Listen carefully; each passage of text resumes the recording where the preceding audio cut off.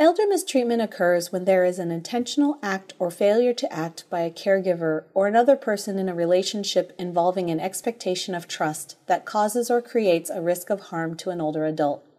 As many as 1 in 10 older adults experience some type of abuse. This includes physical, sexual, emotional, psychological, verbal, and financial abuse, as well as neglect, abandonment, and exploitation. One question to ask is simply Have you ever been abused? when interviewing the patient alone. This will allow the older adult a chance to bring up any concerns that they may feel scared to talk about. Keep in mind that the most common form of elder mistreatment is actually self neglect.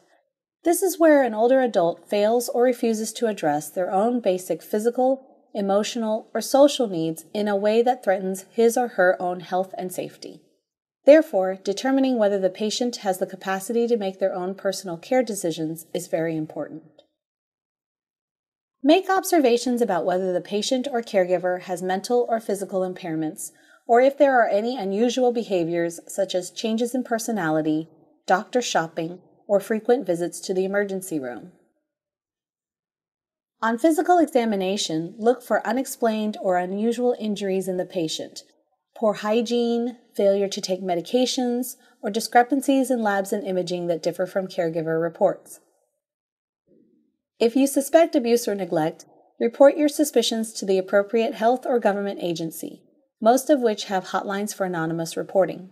Also, work with the patient to develop a safety plan and provide support and education for the caregiver.